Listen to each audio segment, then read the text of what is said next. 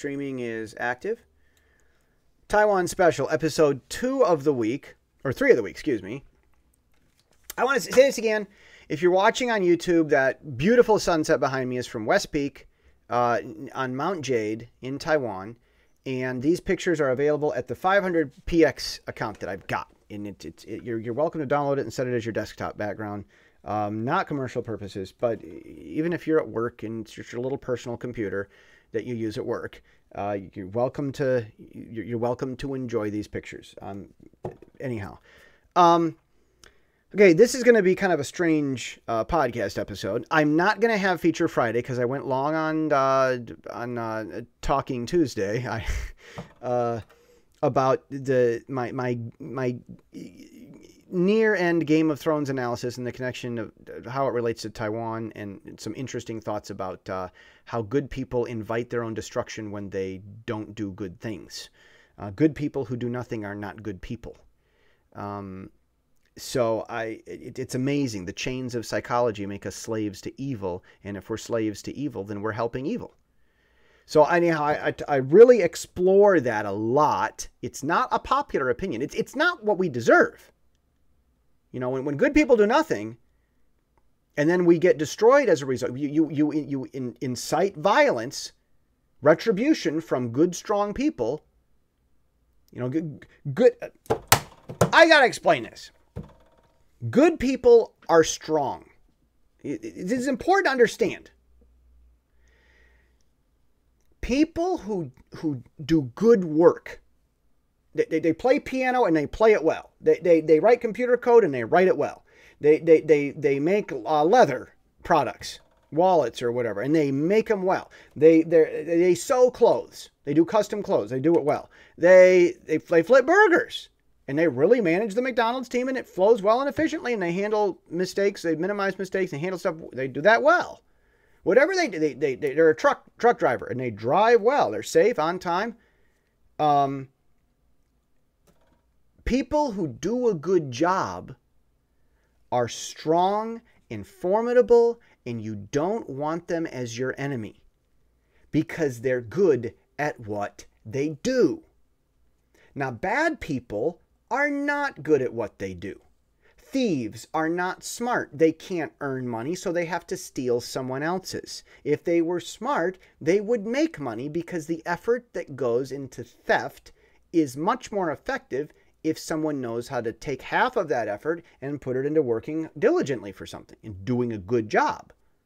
So, bad people, people that are bad, are not skilled at what they do by definition. Even bad, evil, elitist class power mongers. You know, you know, bad people that like like bad money and lobbyists and big evil corporations or you know, they try to to to bribe good people, they have to survive by bribing good, skilled people because they don't have the skill themselves. And then those good, skilled people were formerly skilled, but their progress then hinges on bribery and those good skilled people stop being good and they they lose their skills because they stop practicing so much because they get corrupted and then they go join the corruption thing and their money depends on corruption. And that's what we're seeing happen with Facebook. All that money went to Zuckerberg's head. Now, this is a thing, it's a reason why, you know, bad people doing a bad job will eventually provoke a response from good people.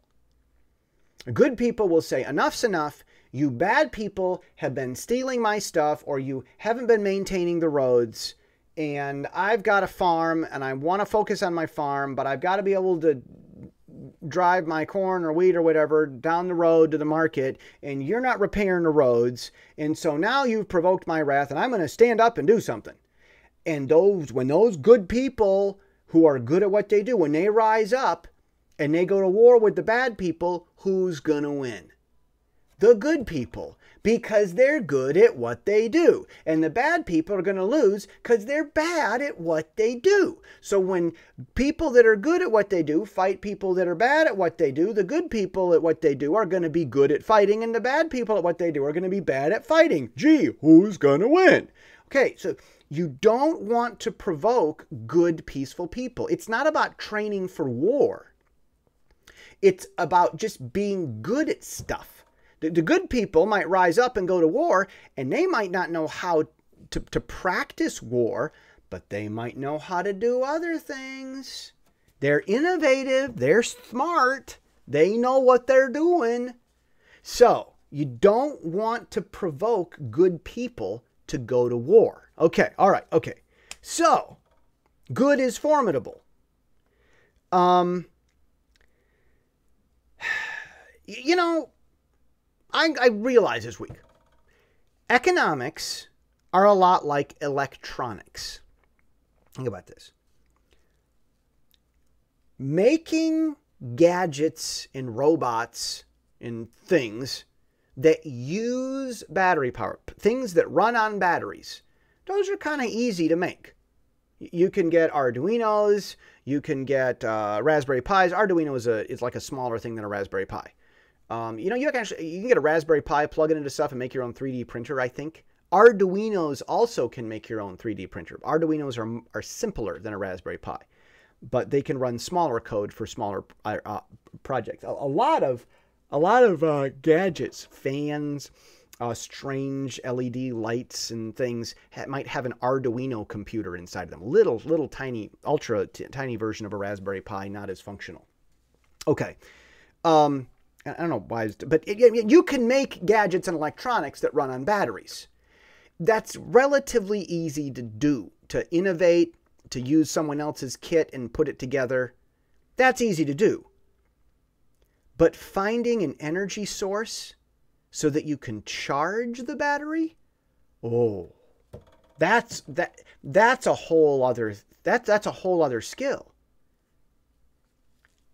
And the thing is, there's not as much market demand for people to design battery chargers. We need them, but not as many.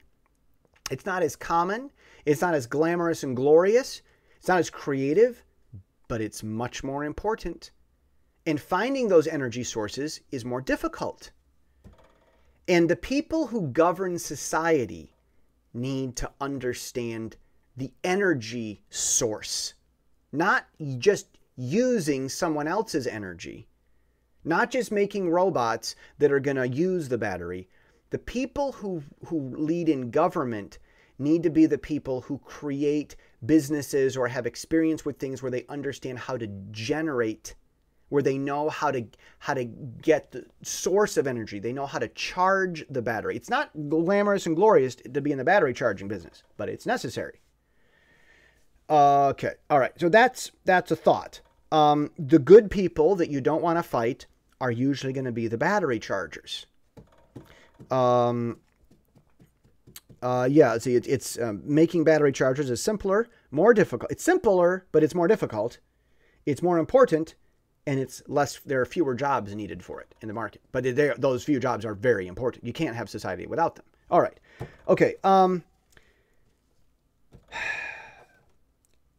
here's what's happening media censorship is uh, uh, just like this extradition law with Hong Kong that I talked about yesterday. I don't know where it's going to go. It's going to backfire. But this is censorship has become a monster. Uh, Facebook and Google could become public utilities within 10 years. Um, I, we could see legislation seriously introduced and start to go into effect with as soon as five but it being in full force at least 10 years, I think. Um, anything faster than that would be too sweeping of action. Um, so I um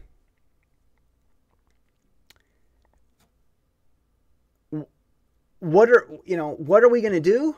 Um I don't know. I'm I'm not a fan of abandoning Facebook because if it's going down, all of a sudden it could rebound, it could get sold, it, it could get under better governance.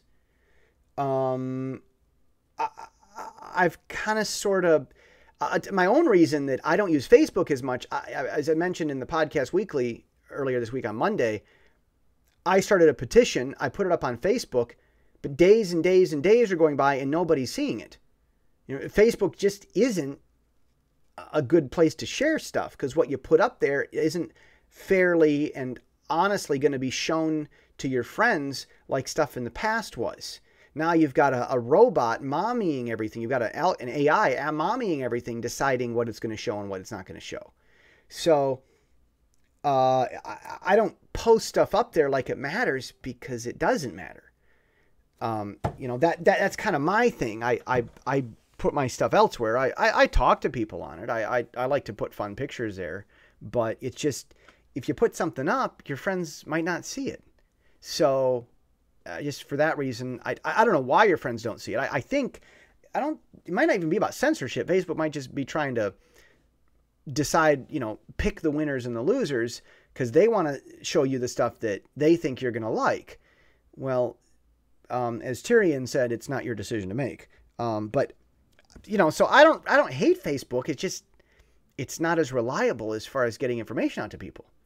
So, um, anyhow, uh, just those are some random thoughts this week. Um, I, I one other thing, um, there there was something that came up about. Um, I've been, I've been saying Russia made a whole bunch of fake social media accounts, blogs, and stuff to put out information that was fake. And they were trying to target, they'd done research and they'd found hot issues that make Americans want to fight with each other. And they basically, the, the thing is, it was like Le, Le, LeBron James picked one of these things up and it was fake, but it got him all mad and he reacted to something that wasn't real or something like that.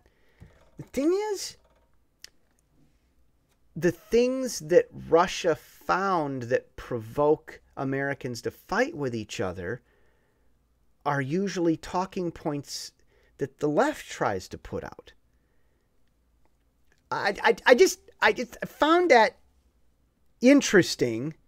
Um, you know, whose political perspective is really divisive.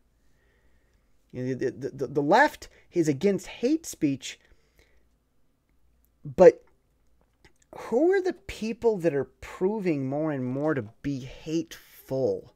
You know, hate isn't in a topic or a political opinion, it's in our conduct. Uh, that's the Taiwan special for the week. See you next week.